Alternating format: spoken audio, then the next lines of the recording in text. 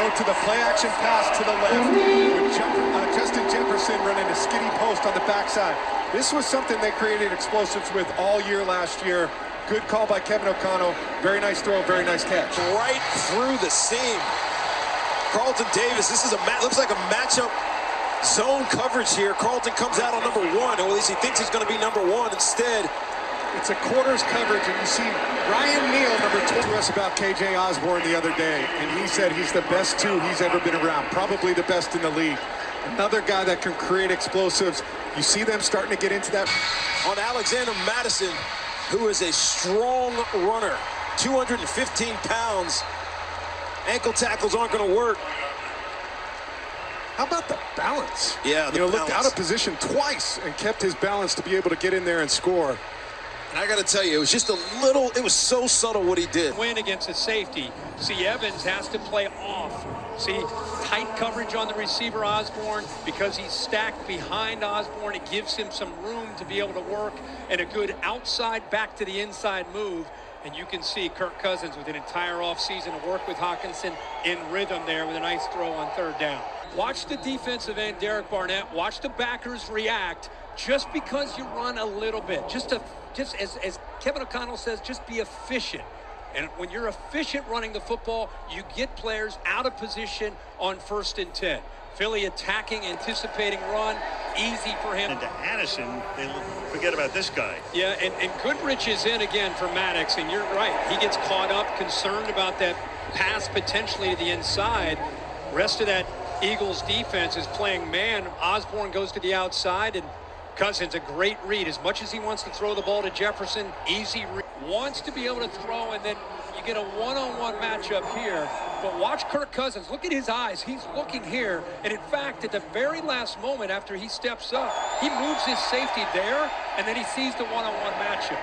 Kevin O'Connell went out in this draft and he said, we need to watch him on this crosser and watch the hesitation. Do I go with him? Do I stop? And that's why there's the bust. Remember, you're playing a lot of guys that haven't played a lot of football. Jobe in for Bradbury. Not quite sure on the call. Do I follow him across? Ends up freeing him. Out running. Just a technician. Watch Osborn. He's going to go up and give a little stair step versus man-to-man -man and leave Michael Davis in the dust over the ball. Watch. I'm going to pause it right here. Boom. He gives him just a quick stair step, and that's what gives him the separation, or else Michael Davis is going to undercut that route.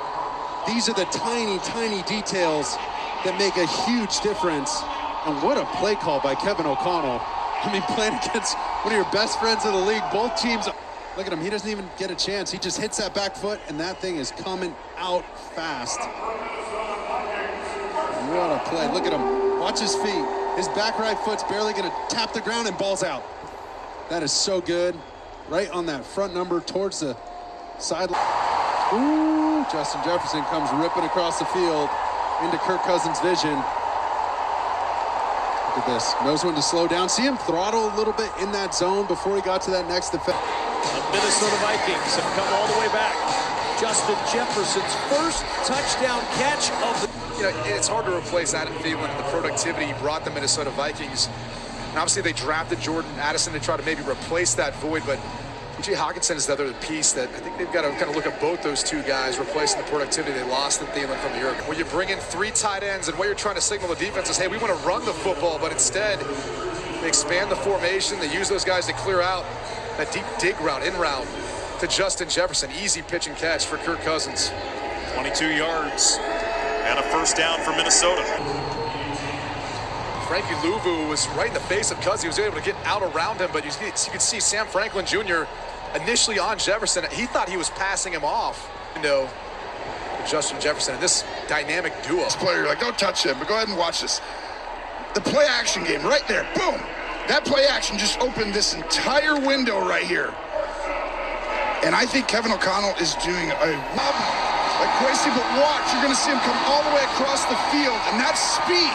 You gotta have a guy who has that type of a ju the juice to get all the way across the field once again, it starts with Minnesota, and they're getting back to it. And I think this is what creates issues because their ability to run the ball last week, really turning it up, and gets people wide open. And with Justin Jefferson out of the lineup, and some of what he does as the tight end. You'd think he works. And for the rookie, touchdown number five. Well, this is just another good design. They run Jordan Addison on the deep crosser, but because McCaffrey fumbled, converted a third down and 12 early, and get it into we go back and take a look at that touchdown. You got Brandon Powell who's going to release up the field, and because of that, it holds Gibson, and then Jordan Addison's going to run the deep crosser. Dre Greenlaw, number 57, he's the guy then who's got to try to get underneath that, and just a, a well-thrown ball. Within every zone coverage, there are holes within that, and it's a matter of whether or not you can exploit it front by this offensive line. They secure things over here, and you see the pocket then that Kirk Cousins has. He just lays it out there. You know, we've talked about Brock Purdy and what he does. Just continue to work the middle of the field. 87, T.J. Hockenson. And I mentioned it earlier, but you know, that's an option route for him. He has a chance to either us here tonight. Here's the press coverage that he has struggled with. And that route right there, there's the hole on Isaiah Oliver that drew the flag. But for him to be able to get off the line and, and get the defender moving the way that he did, and I don't know how Kirk Cousins got out of this. I mean, when I'm watching it, I thought he was down. And he's able to step up and still keep his eyes. Tell you what, Jordan Addison is giving Jaire Alexander all he can handle right now. Jaire Alexander, he's been in and out of the lineup. He's had back spasms or, or back contusions. He's in there right now going against their best wide receiver, and he is struggling. Gain of 23. Look at the protection Kirk Cousins has and the wide open TJ Hockenson. And the play is designed because of the bunch formation schematically. Kevin O'Connell does a great job of not allowing for TJ Hockenson to get jammed. So because of that, now this is the third screen that the Vikings have run, and it's finally executed well. And this is what happens when they can execute, get the linemen out there. Look at Garrett Bradbury out there blocking. Everyone is in sync for this gain of 18 yards.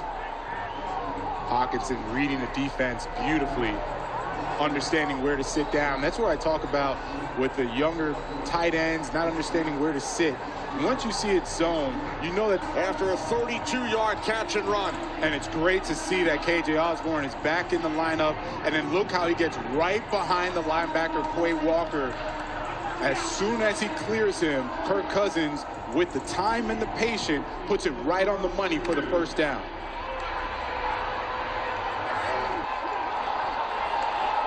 Jordan Addison coming out of the backfield. We call this a wheel route. Sideline view, but from the field view, as the quarterback's throwing that ball, he zips it past the defender. So it's in lightning speed. The defender can't get his hands on it. So nice spot pass by Justin Fields. 22 catches over his first two years. That's just his fifth this year. And this is why you get excited about Justin Fields as a Bears fan. When you see those types of throws, and you'll see them sprinkled in during the course of the game, he just has this week. Holy cow, how about this? First two possessions to start, you're going down the field, and this is extremely well thrown. I thought he might have got it out beyond Darnell Mooney, but a great adjustment at the end to go get that again. These are some of the things that the Bears coaching staff have seen. Really nice pocket created here by the offensive line. You talked about kind of that speed rush. Just bring in three guys. You're going to try and force a flush to get him out. And watch Darnell Mooney, number 11. Here he comes right into that soft spot right there. Mooney had four catches over the first three games. That's his third one today. I don't know if he's going to be neat. Say you want to win late, you got to win early right here. Mooney in the slot wins right there off the release, and then the concentration to go up, hand fight a little bit with Sullivan, but look at the hand, look at the extension, the concentration, bring it back into the body, and look at that second hand. Just make sure it stays in there as you make contact with the ground. I mean, you want to talk about full extension, Adam. That is just one of the great catches. I mean, just a go and look at, look, go oh ahead, just goodness. stick your paw out there and bring it in. The ball 60% of the time. So on first and 10, that's the time to throw because you get one-on-one -on -one opportunities. Your best target, Mooney, on a comeback route against St. Juste, who's moving from slot to the outside last week and still getting comfortable out there. Uh, this one is really nice. Watch this. We're going to come down and come back in and out. Trevon Diggs is going to get ready to run, and then whoop, there we go, going out the other way. Overplayed that one. And a great route call by Luke Getsy.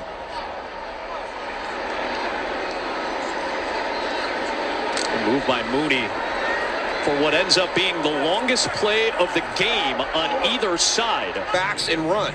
Watch him press through this, kind of get right up on top of Trevon like he's going over the top, and then he snaps it out and just a little bit late responding to that. So really nice at the top of the route by Darnell Mooney.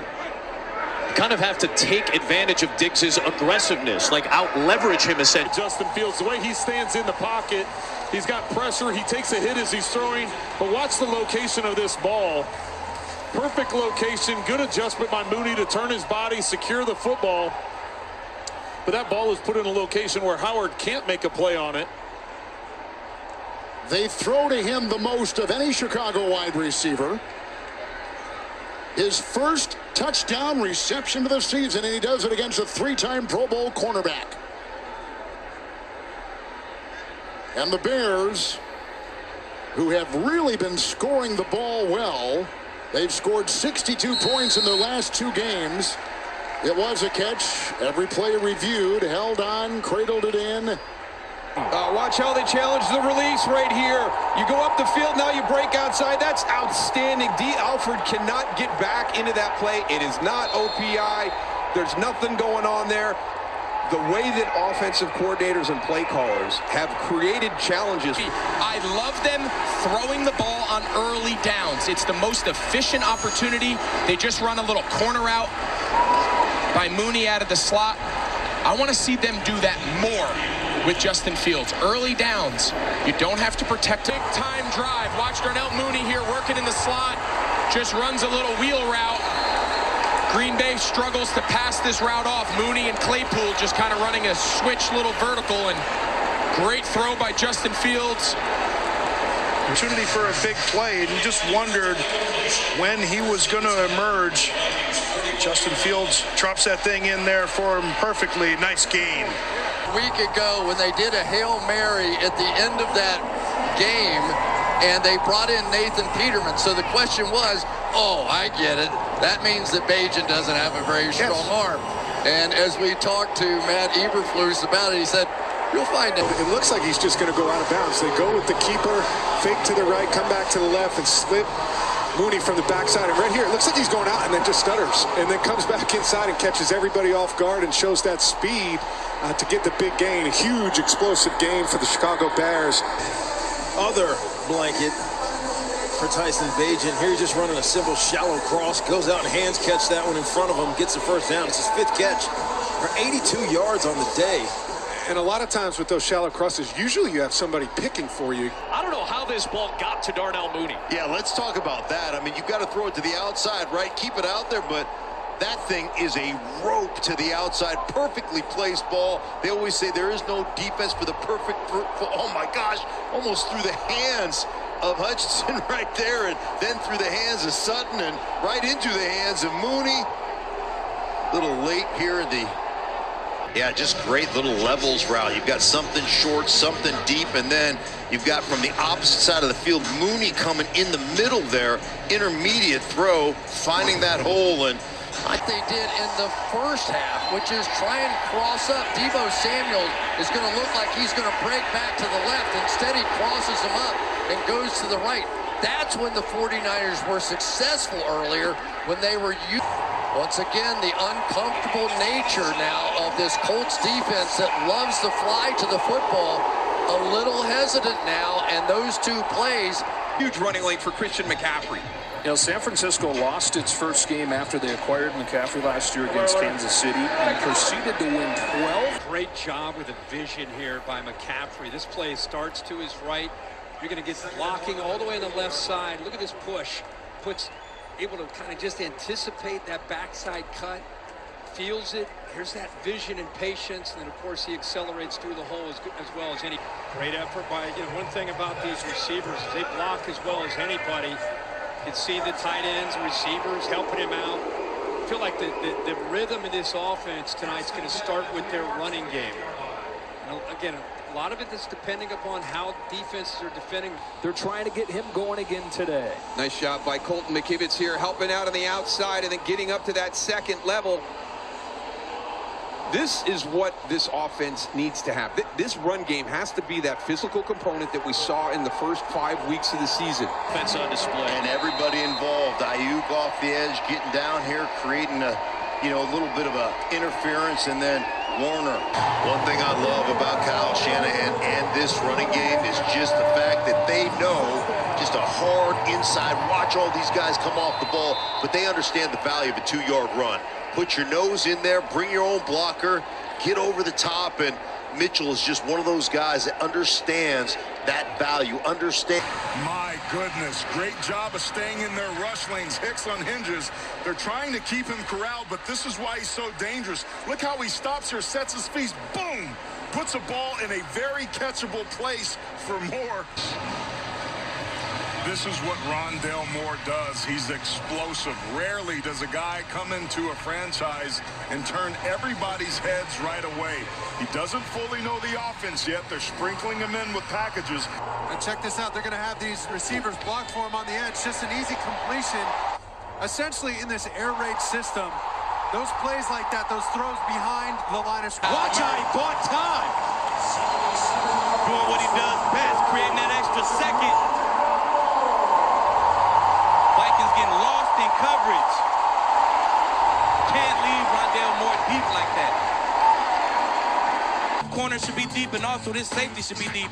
I wish I had my pen and pad so I could draw and show you, but Patrick Peterson has to stay deep. He can't man turn to Hopkins. He has to guard his third of the field. He man turns, and he's at 14 yards with Hopkins. Rondale White is behind him.